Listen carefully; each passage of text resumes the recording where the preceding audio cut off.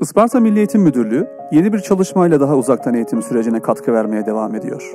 Isparta Milli Eğitim Müdürlüğü Ölçme Değerlendirme Merkezi, Isparta EBA Stüdyo ve Isparta Eğitim Akademisi işbirliğinde yürütülen çalışmalarla Isparta Milli Eğitim Müdürlüğü Televizyonu 4 Mayıs 2020 Pazartesi günü yayın hayatına başlayacak. Isparta Milli Eğitim Müdürlüğü Televizyonu, müdürlüğe bağlı sosyal medya hesaplarından başlatacağı canlı ders uygulamasıyla uzaktan eğitim sürecinde öğretmen ile öğrenci arasındaki mesafeyi ortadan kaldırarak etkileşimli ders işlenmesini sağlayacak. Özellikle 8. sınıflar için LGS, 12. sınıflar için TYT ve AYT'ye hazırlık niteliğinde olacak derslerde öğrenciler anlayamadıkları, takıldıkları yerlerde anlık sorular sorarak öğretmenle iletişime geçebilecek.